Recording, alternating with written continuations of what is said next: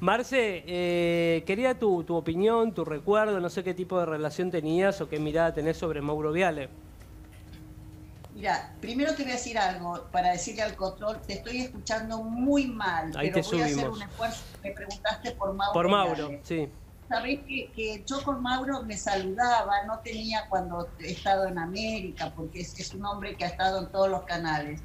Pero lo que siento que mm, Mauro producía una atracción en el televidente de información, de profesionalismo, de querer saber qué está diciendo.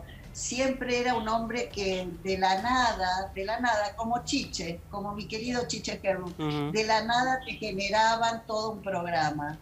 Y como dijo alguien, quiero, creo que Doman o no sé quién, eh, murió un gran maestro del periodismo y sobre todo del periodismo por muchas generaciones que nos, ha, que nos atraía a escucharlo para ver qué decía, cómo, cómo repreguntaba. Era un hombre muy querido, muy querido por todos, por todos los, en todos los ambientes.